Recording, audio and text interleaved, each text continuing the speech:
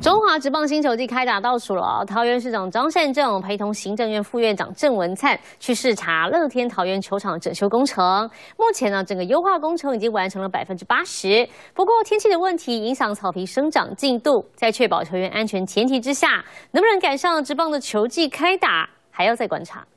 阴雨绵绵，工作人员加紧脚步整修球场不停歇，因为中华职棒新球季不到一个月就要开赛。行政院副院长郑文灿、桃园市长张善政特别来视察乐天桃园球场的整修进度。目前的工程进度哦，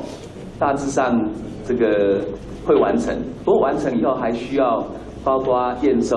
包括试用的比赛。球场进度包括原来最为人诟病的是排水。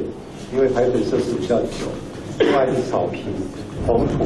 还有座位，还有灯。刚才我们的运动员讲到，目前所有的工程都按照进度。桃园市政府表示，包括场地的排水以及喷灌改善、夜间照明系统优化、外野看台地坪以及座椅更新等等工程，整修进度已经达到八十趴，但能否赶上球季开打时正式启用，关键在于草皮的生长状况。我们草皮植下去以后，大家也知道最近的天候并没有太多太阳、